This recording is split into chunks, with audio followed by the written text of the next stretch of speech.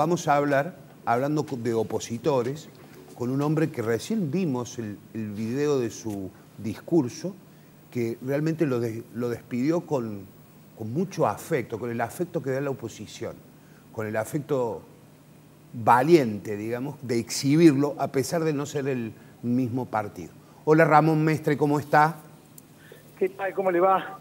Bueno, eh, fuerte su discurso esta mañana, hace un ratito, en la, en la Casa de Gobierno para despedir a De la Sota.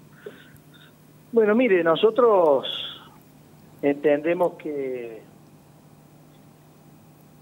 el asombro que tenemos por la muerte trágica de De, de la Sota no significa que uno no le pueda reconocer que fue un dirigente político distinto, diferente, que nos enseñó cosas importantes para la vida política, pero también como seres humanos, porque, a ver, no nos olvidemos que él participó por primera vez en una elección en 1983, Ramón Bautista Mestre, mi padre, le, le ganó, y él lejos de de quedarse de brazos cruzados. Por la Intendencia de Córdoba, en el 83. Por la Intendencia de Córdoba, exactamente. Él eh, constituyó una, una, línea interna dentro del peronismo para lo que eh, significaban muchos la necesidad de lograr el trasvasamiento generacional y entonces se formó la renovación peronista y ese valor de la perseverancia aún frente a las derrotas el no darse por vencido nunca para defender las convicciones y las ideas, lo volvió a poner como candidato a gobernador en el 87, perdió. Y después me pasó lo mismo en el 91 y en las distintas sucesivas turnos de, medio término electorales, hasta que en el año 98, cuando mi padre se disponía a, a, que los habitantes, los ciudadanos de Córdoba, de la provincia, le dieran la confianza para la reelección, después de una difícil gestión que tuvo con muchos logros, pero que en definitiva de la Sota con mucha creatividad logró el triunfo. Entonces digo, el valor de la perseverancia es muy bueno para todos en general. Entender una persona que, eh, se tropieza con la piedra, se vuelve a levantar y va para adelante, eso yo creo que es importante destacarlo. Hoy y siempre, es un valor. Y el otro el liderazgo, ¿no?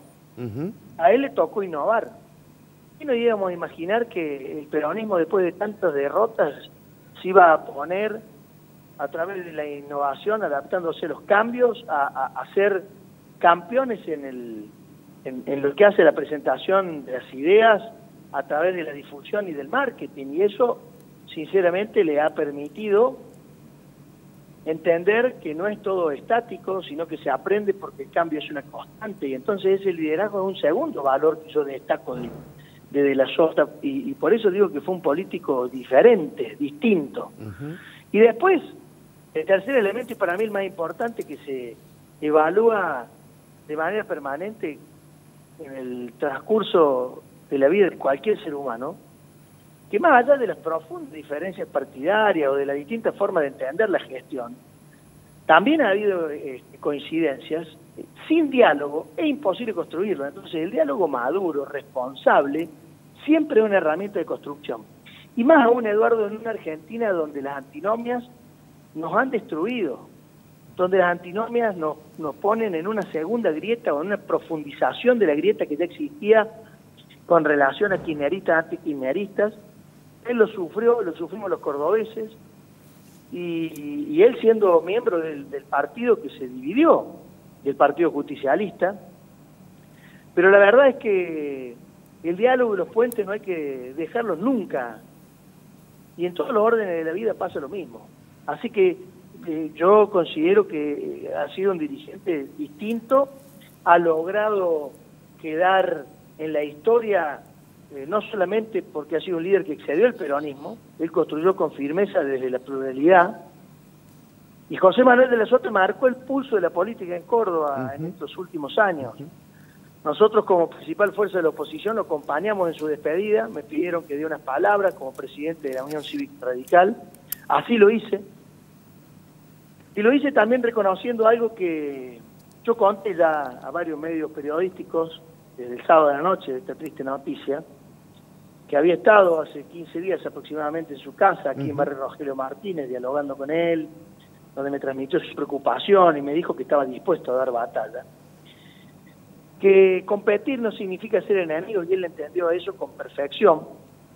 Y entonces la unidad nacional termina siendo tal vez la bandera más importante que de la Sota nos, nos lega, nos deja como valor fundamental para cualquier tiempo al margen de las diferencias que hubo, y mucho, porque a vos te constan que las diferencias las hemos tenido, y yo lo despido en una situación donde él tuvo gestos de amistad, por decirlo de alguna manera, en los distintos actos públicos, él siempre me trataba con deferencia. Él siempre decía el intendente, mi amigo el intendente, mi amigo Ramón Mestre, y la verdad es que yo, bueno, hoy lo cuando lo despedí, dije que dije lo que siento, que despedí al amigo, al, gallego de la Sota, que, que él, este, bueno, trabajó durante muchos años, más allá de las diferencias, de las coincidencias, con diálogo y con un profundo respeto. Intendente, me quedé sin programa, le agradezco muchísimo la deferencia de habernos atendido. ¿eh? Le dejo Por un saludo. favor, es un gusto estar siempre le mando un cariño y un saludo a todos los integrantes del